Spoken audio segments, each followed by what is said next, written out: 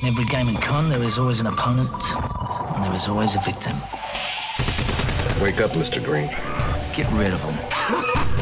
You can only get smarter by playing a smarter opponent. We don't have a lot of time. The more sophisticated the game, the more sophisticated the opponent. Take care of your enemy. Take care of business. Wake up!